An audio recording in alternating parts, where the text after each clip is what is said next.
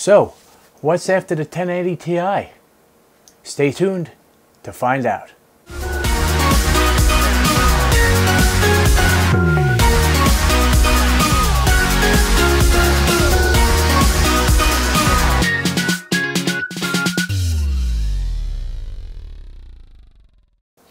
Hey guys, Joeteck here from Joeteck Tips. Everybody's all excited about this 1080 Ti video card. It's awesome, it's fantastic, but what's after it? I mean, for 699 you get this fantastic thing, but what about the future? Should I wait? Should you not wait? Granted, the 1080 Ti does kick butt. It offers 12 billion transistors, 11 gig of memory on board, It's unbelievable. However, there, is, there are rumors that the 20 series video card will be coming. Uh, it's like almost, it's like a Pascal refresh. Should you wait for that? Or should you wait for the Volta? And you're probably thinking, what's the Volta? The Volta is going to use some heavy duty, high tech stuff, technology that we've never seen before and it's going to change probably how video cards are. When they come out with the 2000 series, now right now they're in the 1000 series uh, GPUs, the, the, the 1080, 1080 Ti, 1060, 1070, 1050, 1050 Ti. So what, what's coming down the pike is uh, some really, it's all rumored right now. The, the GPU for the, for the Titan, um, because uh, they're all Pascal based, so the GPU for the, for the Titan is a GP102, which we all know already. But coming down the pike is the GP104. And, um, and the, G, uh, the 102 is going to be used in the new 2080 titanium. Again, all rumored, but I just thought I'd throw it out there.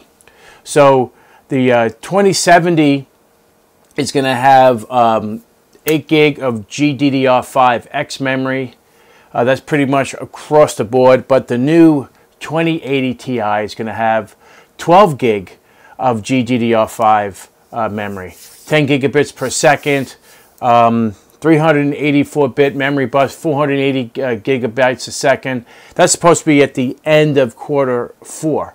So that's all rumored. I mean, I'm, I'm just going over stuff that I've been, uh, you know, checking out, looking into, and trying to find out what's coming down the pipe. Because every GPU manufacturer has some sort of a, I guess, a, a map of what's you know what's going to happen down the line.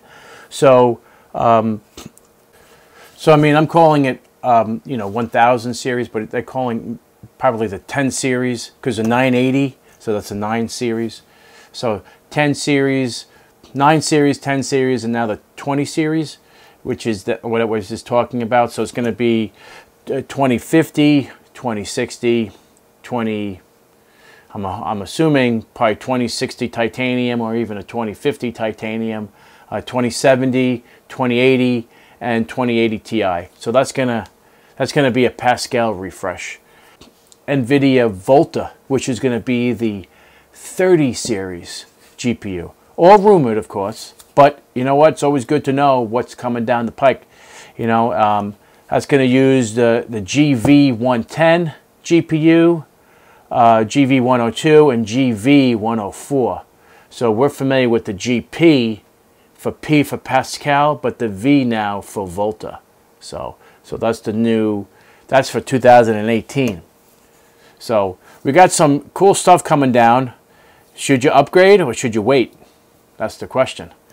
So uh, the, the, it's gonna the, the 30 series uh, GPU is gonna probably have uh, GDDR6 memory.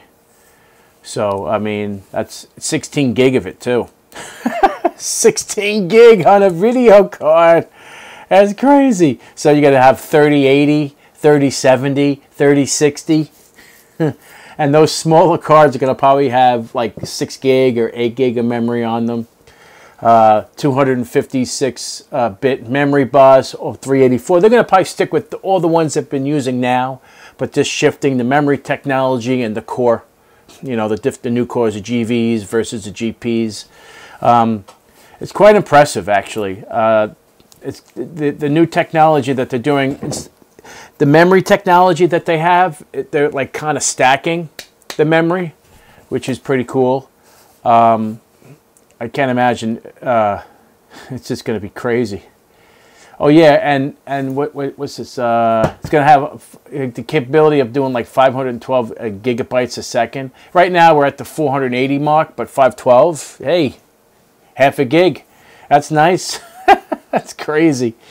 So it's going to be called like the Volta stack. But anyway, you know, enough with that. I mean, I'm sure that the because the new technology is the HBM2 which is what NVIDIA wants to move to in terms of the new architecture for memory because it tends to be able to send data much, much, much faster.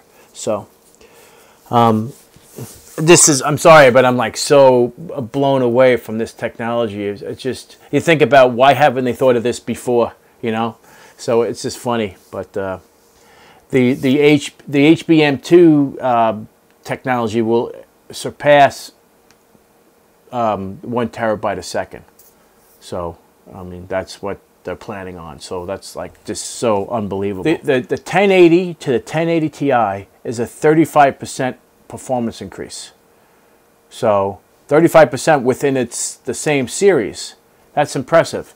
So if you went back one series, like a 980 Ti, and compared that to a, a 1080 Ti, it's probably more than 50% uh, performance gain.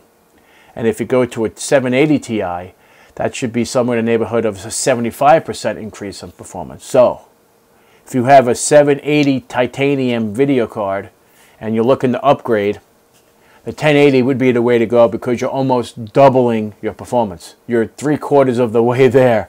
So you would see a substantial increase with uh, in performance. It's also dependent on your CPU. If you have it hooked, hooked up, if you have it connected to a Celeron, obviously it's it's going to try as hard as it can to push that video card.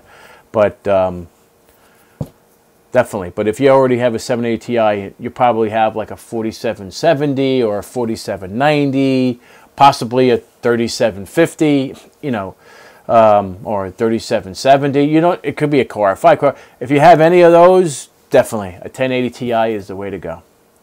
So if you guys like this video, give me a thumbs up. If you're not a subscriber, please subscribe and we'll see you next time. Take care.